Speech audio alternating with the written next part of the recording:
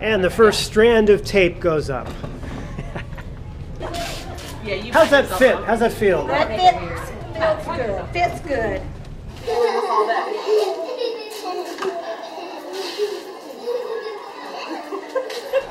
Remember, don't try this at home.